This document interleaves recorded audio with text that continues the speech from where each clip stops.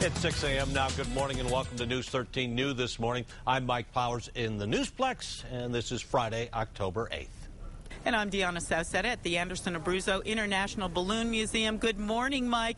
Good it morning. looks like the winds might be picking up. We just checked the weather station that's right here at the museum between four and eight miles per hour. So we're going to keep a close eye on that. Of course, the gas balloon race is scheduled for midnight tonight. They'll start inflating around 10. We're going to keep an eye on that as well.